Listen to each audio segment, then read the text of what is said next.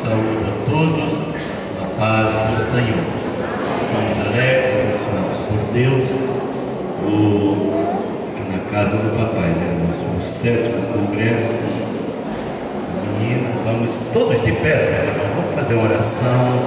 Depois da oração está dando abertura do sétimo congresso para a honra, para a glória do nome do Senhor. Senhor nosso Deus, Pai, nós somos gratos ao Senhor por tudo. Meu Deus, porque só o Senhor é digno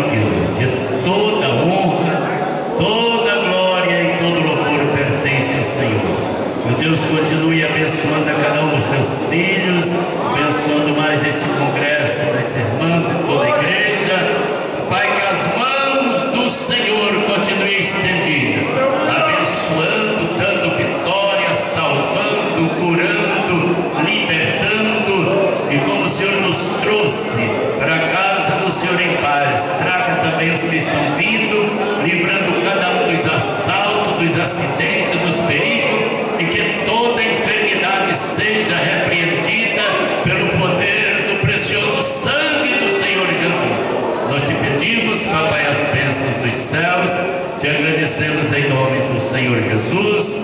Amém e amém. E agora, meus irmãos, em nome do Senhor Jesus, estamos dando a abertura do sétimo congresso para a honra e a glória do nosso Deus. Amém. Adorado seja o nome do Senhor. Nós somos gratos a Deus, meus irmãos, por essa oportunidade né, que nos dá de estarmos novamente aqui.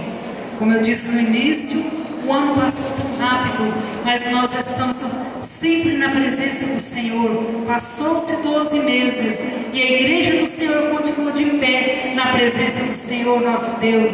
E aqui nós estamos mais uma vez para prestar a Deus essa gratidão, essa adoração cultuar ao Senhor juntamente com os demais irmãos.